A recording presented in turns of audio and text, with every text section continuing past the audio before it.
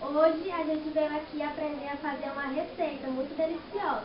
Que é o milkshake de morango. Então, para fazer o milkshake de morango, a gente precisa de 10 morangos cortados, sorvete. O sorvete, você escolhe a quantidade que você quiser. Quanto mais sorvete, mais cremoso fica. E 200 ml de leite.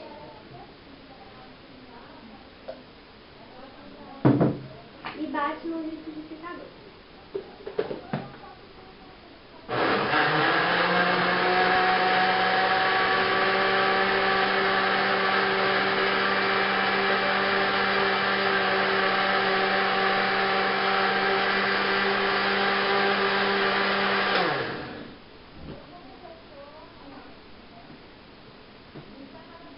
Pronto. E agora, a cobertura de chocolate.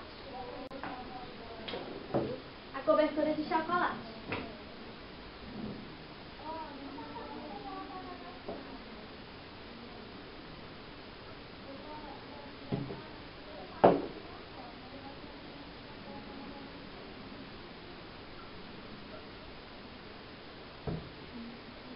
E agora, coloca o milkshake.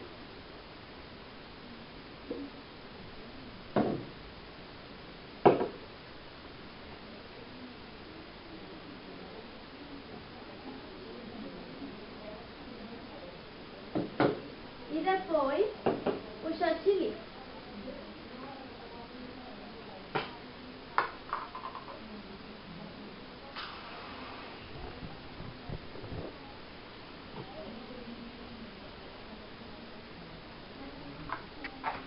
E por final, o morango.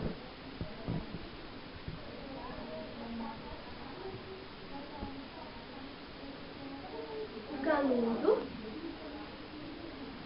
Espero que vocês tenham gostado. Tchau. Tchau.